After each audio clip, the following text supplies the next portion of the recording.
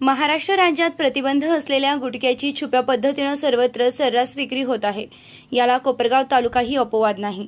कोपरगाव शहरात प्रतिबंध असलेल्या गुटख्याची छुप्या पद्धतीनं सर्वत्र सर्रास विक्री सुरू आहे. मात्र याकडे प्रशासन कानाडोळा करत असल्याचं दिसून येत आहे. महाराष्ट्र राज्यात गुटखाबंदी कायदा अंमलात आणला गेला. मात्र त्यामुळे संपूर्ण महाराष्ट्रात गुटखा बनवणं आणि विक्री करणं बेकायदेशीर ठरलंय. सुरुवातीला या कायद्यांमुळे गुटखा विकणारा आणि बनवणारा दोघांवर कारवाई करण्यात आली. पण ते म्हणतात ना नव्याचे नऊ दिवस तशी गत या कायद्याची झाली आहे.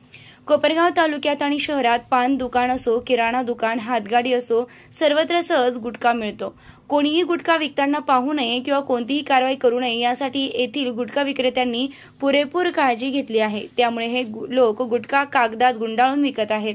आतापर्यंत हे लोक अशा प्रकारे गुटखा विकून लाखो रुपये कमवत आहेत.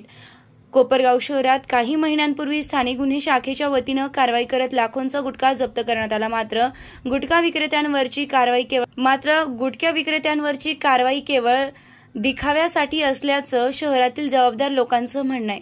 त्यामुळे गुटखा विक्रेत्यांना कोणत्याही कारवाईची भीती वाटत असे असं चित्र आहे.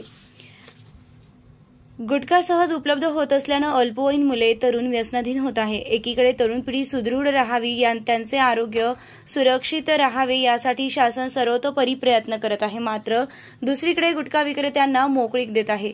गुटखा विक्रीवर कडक कारवाई होत नसल्यानं तरुणांचे आरोग्य धोक्यात आले. कोपरगाव तालुक्यात गुटखा विक्रेत्यांवर औषध प्रशासन पोलीस प्रशासनाची कृपा दूरदृष्टी तर नाही ना? हा प्रश्न उपस्थित होत आहे. मावा सुगंधी तंबाखूच्या नावाखाली शहरासह सर्वत्र तालुक्यात सर्रासपणे गुटखा विक्री केली जाते. कोपरगाव येथील मोठे डीलर या गुटख्याच्या गाड्या गोडाऊनमध्ये छुप्या पद्धतीनं गुटखा खाली करतात. मात्र आजपर्यंत संबंधित पोलीस प्रशासनाकडून छोट्या टपरीधारकांवरच क्वचित कारवाई झाल्याचं दिसून आलंय. मात्र ज्या डीलरकडून माल खरेदी केला जातो त्यांना मात्र अभय दिलं जात असल्याचं सध्या तरी दिसून येत आहे. या विक्रेत्यांना पाठबळ कोण देत आहे का देत आहे असे अनेक प्रश्न या निमित्तानं उपस्थित होताना दिसत आहे. संबंधित प्रशासनाला येत्या काळात या गुटखा विक्रेत्यांवर अंकुश ठेवण्यात यश येते का हे बघणं अवचित्याचं ठरणार आहे.